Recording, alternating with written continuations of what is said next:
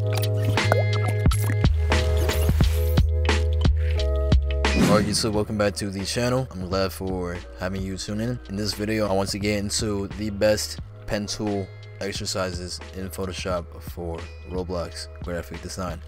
Um, this applies to just basically anything. Um, UI, logos, you could use pen tool for uh, creating effects in um, thumbnails and renders and such. So, so I just want to get into some ways you could practice your pen tool and refine your skill so you could get more fluent using the pen tool. Alright, so first things first, let's get into the basics. So if you go over here, here's your pen tool.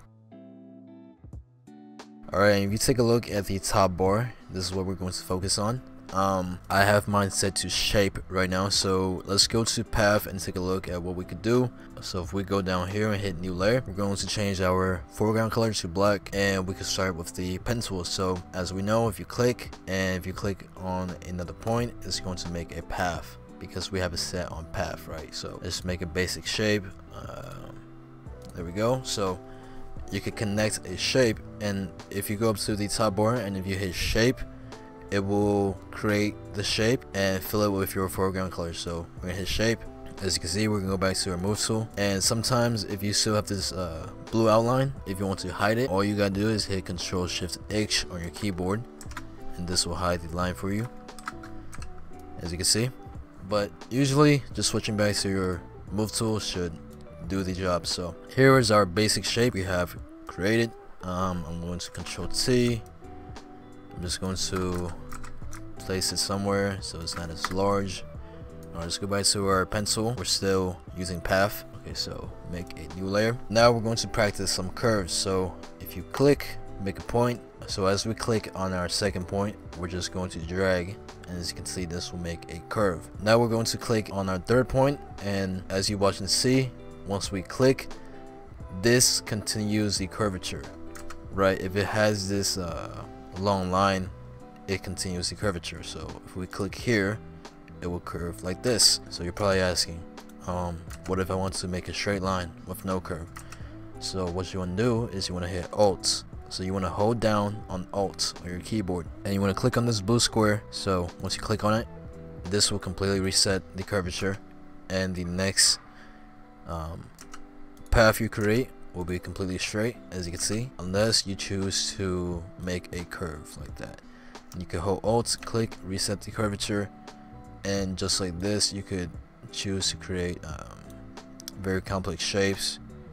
You go up here down here you hit shape. As you can see we have a shape like this. We can change the color. There we go and we're just going to take this and we're just going to move it somewhere else. Or just create a new layer. Let's go back to our pen tool. And right now uh, let's change it from path to shape. And if we take a look up here I have my fill turned on. If you select this option this is the solid color option. This one is to turn it off. This is gradient and this one is pattern. So I have this on solid stroke is off. I will explain what stroke is later. This is the stroke radius. These are um, stroke options which we have it off anyways so it doesn't matter. So with shape um, you can create any shape and it will instantly fill it in without having to hit shape like you would in path. As you can see I'm just going to undo. So uh, let's create shape. Uh, can make it like a shield shape so reset the curvature oops. Here we go. Over here. Like this something like this. And then we could use our ruler. We could go down here. As you can see reset the curve. I'm just going to click back up. And we'll go to remove tool. Control J to copy. Control T to bring up the free transform. And if you right click we're gonna hit flip horizontal to flip the shape. Hit enter. And we can take the shape and we're going to hold shift while we drag this. So it goes uh, it's locked into the axis. We take these and it's a bit too wide so condense it like that. Right and we can take these two right click and let's go to merge shapes like that. Now let's use our pen tool and create some highlights. So let's change our shield to a gray color and we're going to make a new layer. Now we're going to use our pen tool, alright, and let's create some shadows. So on our layer 1, we're going to right click, let's go to create clipping mask. This will clip this layer into uh, our shield shape. Our color is going to be black and we're just going to click up here. I'm going to click and drag right over here, reset the curvature we're just going to bring it back around just like that. And as you can see we have a shadow right?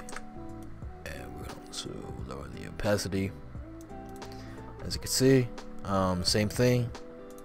We use this for highlights as well so color is gonna be white. Go right over here. Alt click. Over here. There we go uh, I'm going to turn off the background so we can see a lot better. And as you can see, we have some highlights. So that's just a basic, uh, a basic explanation of how to use a pen tool. If you want a more detailed guide, make sure to leave a comment down below and we can do some specific tutorials. Alright, so now let's get into the main topic of this video, which is some basic pen tool exercises you could use to refine your your paths and help you practice your shapes. So let's get right into it. Alright so the first website I have is this uh, website called bezier.method.ac and here you can practice your pen tool. As you can see um, there's a, a guide here a little game. So if you click click right here and one more node. There we go. And you move on to the next step. And from here wants you to hold shift.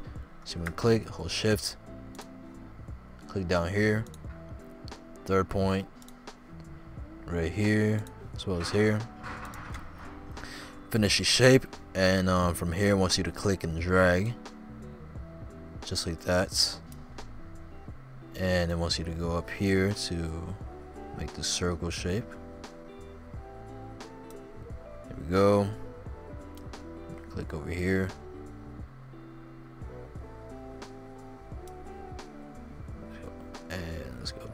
here. We go. And just make sure we finish the circle. And now it wants you to practice making this heart. And as you can see, it teaches you exactly how you should approach it. Uh, start on this heart. We're just going to drag as it explains. And we're to hold Alt. We're going to move this up. And from here, we're to drag like that. We're gonna hold Alt, move this up, and from here we could finish our shape. And there is our heart shape. Now here's the car. So this is basically a website, a game you can use to practice your pen tool. As you can see, it's very helpful. So uh, with some free time, just play this game. So this is one exercise you could use to practice your pen tool. Alright, now we are back to Photoshop and Something else we could do is if we type out some text, just got some basic text. Let's set our text and we're going to change the color to a blue. So make a new layer. Click and we're gonna go for right click, create clipping mask. As you can see, we're gonna take a pen tool on shape and for fill, um, just go for black and how you could practice is typing out different letters and you could use a pen tool to practice creating shadows. So for the T we want something like you go click up here. We click approximately over here kind of drag right? And go over here. Click down here make a different point. This one drag and finish it over here. And go around Control Shift H to get rid of the uh, outline. And we can turn this to overlay as you can see. So we got a shadow for the letter T. If we make a new layer I'm just going to quick clip um, the layer in. We can change our color to white. Now we can use the white color. And we can make a highlight just like that. There we go. Lower the opacity and as you can see we have some very quick shadows and highlights onto our T.